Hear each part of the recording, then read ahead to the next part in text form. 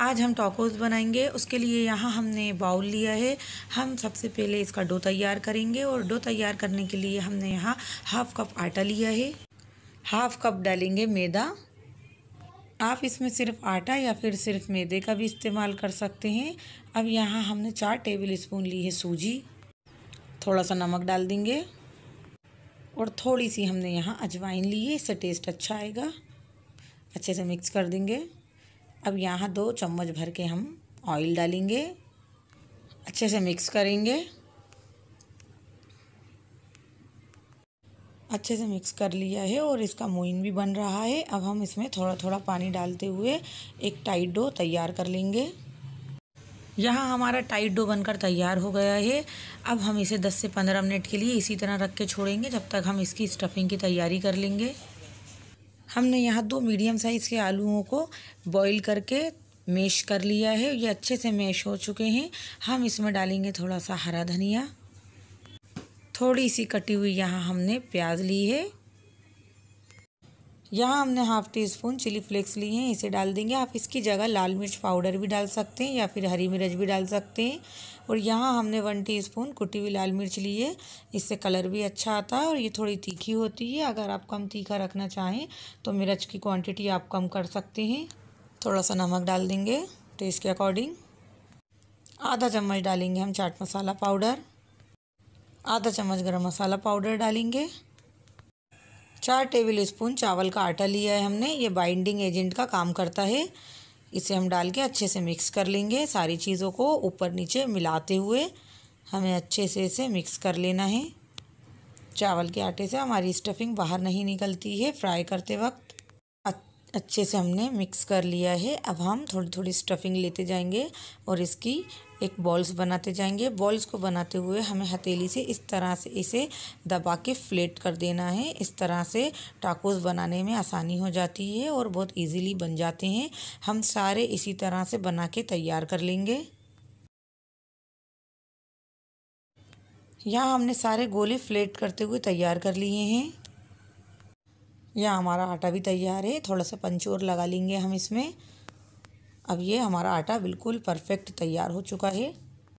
हम इसे अब दो हिस्सों में डिवाइड कर लेंगे। इसकी एक बॉल्स बना लेंगे। बॉल्स बना के हम इसको अब यहाँ बेलेंगे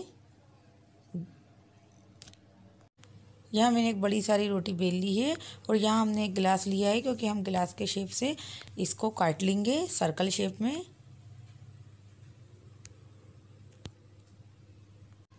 सारे हमने सर्कल शेप में काट लिए हैं। अब हम एक एक करके निकालते जाएँगे। ये आप देख सकते हैं कितने अच्छे से निकल आए हैं इजीली अब हम सारे अलग करते जाएँगे।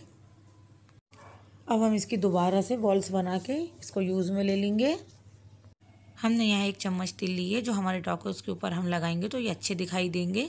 यहाँ हमने हमारे डो के जो सर्कल बनाए हुए रखे हैं, इसे लेंगे और इसके ऊपर हम स्टफिंग रखेंगे। स्टफिंग रखते हुए हम इसे हाथों से दबाएँगे। ताकि ये साइडों में भी अच्छे से फिल हो जाए, अच्छे से हाथों से दबाते हुए हम इसे फिल कर लेंगे। और इस तरह से हमारे टाकोस बनकर तैयार हैं। इसको हम अच्छे से दबाएँगे ताकि हमारे टाकोस अच्छे से फिल भी हो जाएँ और ये फ्राई करते वक्त निकले भी नहीं। ये आपने देखा, बहुत अच्छे से हमारे टाकोस बनकर इस तरह से तैयार हो गया है। हम इसके ऊपर तिल लगाएँगे। इस तरह से और हाथों से भी थोड़ा दबा देंगे ताकि ये निकले नहीं। इस तरह से हमारा टॉकोस बनकर तैयार हो गया है। हम बाकी के भी इसी तरह से हमारे टॉकोस बना के तैयार कर लेंगे। यहाँ हमारे सारे टॉकोस बनकर तैयार हो गए हैं। अब हम इन्हें फ्राई कर लेंगे। हमने ऑयल को पहले से ही गर्म पे चढ़ा दिया था और ऑयल गर्म हो गया है। एक एक करके हमारे टॉकोस डालते जाएँगे। गैस की फ्लेम को हमने मीडियम टू हाई रख दिया है। जो होते जाएँगे उसे हम फ्लिप करते जाएँगे। अब हम दूसरे साइड से भी इसे फ्राई होने देंगे। दोनों साइड से कलर अच्छा आ गया है, हम निकालते जाएँगे। और ये मैं आपको चेक कराना चाहूँगी। ये बहुत ही क्रिस्पी बनकर तैयार हुए हैं और अंदर से भी बहुत ही अच्छे से कुक हुए हैं। टेस्ट में ये बहुत ही अच्छे होते हैं। ये आप देख सकते हैं। हमारे टेस्टी क्रिस्पी टाकोस बनकर तैयार हैं। ये अंदर से भी बहुत अच्छे से कुक हुए हैं और बाहर से भी बहुत ही क्रिस्पी करारे बनकर तैयार हुए हैं। अगर आपको मेरी ये रेसिपी पसंद आई हो तो प्लीज़ लाइक ज़रूर करें। अगर आपने मेरे चैनल को सब्सक्राइब नहीं करा हो वन टाइम सब्सक्राइब ज़रूर करें। फैमिली और फ्रेंड्स में ज़रूर शेयर करें। कमेंट में ज़रूर बताएँ। आपको मेरी टेस्टी क्रंची टाकोस की रेसिपी कैसी लगी?